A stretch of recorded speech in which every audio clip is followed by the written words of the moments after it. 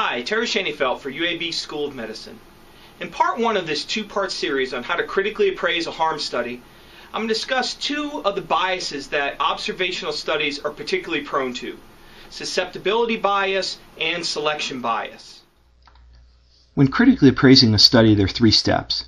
One is to determine if the results are valid, two is to determine what the results are, and three is to determine if the results will help you care for your patient. In this video, we're going to focus on are the results of this harm study valid? Whenever you read a harm study, there are three questions you need to answer as you read through the study.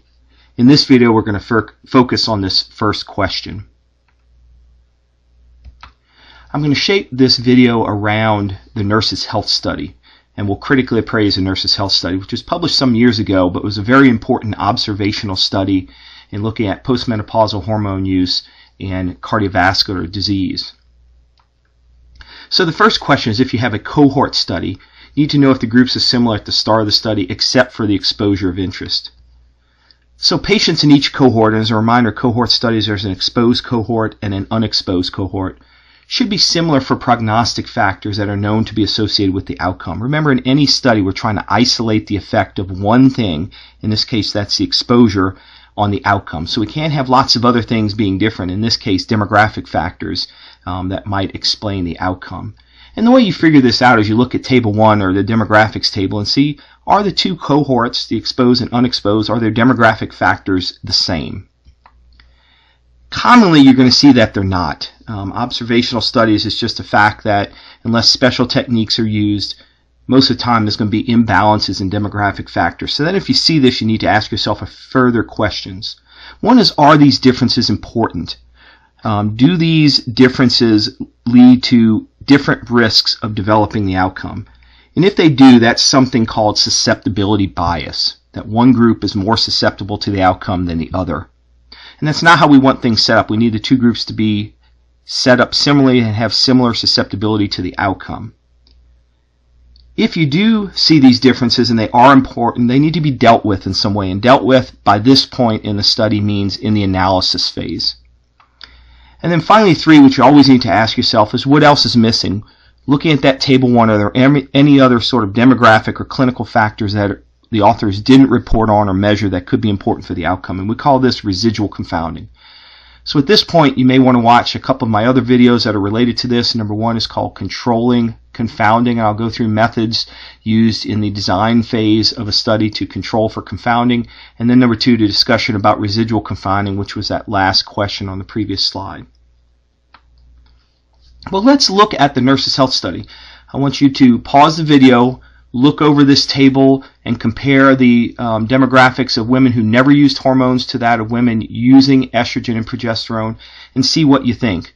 When you've got your answer, restart the video to see how I answered it. So let's see how you did. Well, I think there's big differences in these two groups of women. So are there differences important? You bet. Um, you can see that in general, hormone users are healthier than non-users. Were these differences adjusted for? Well, they were. So the authors did use multivariable models to compare and or to control for these things that were different between the two groups. Is there residual confounding? Did the authors not measure and control for some other things? And probably there is. And if you look at my video on residual confounding, I use this as an example and you can see what I think has not been measured or was missed.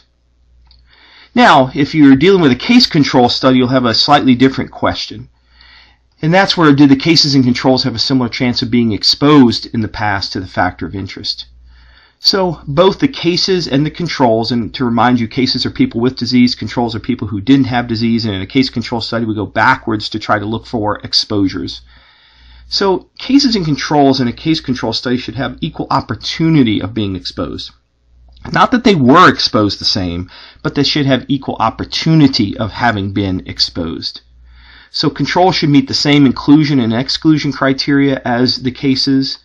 They should be at risk also of developing the outcome. And what that means is they could have become a case had they had disease.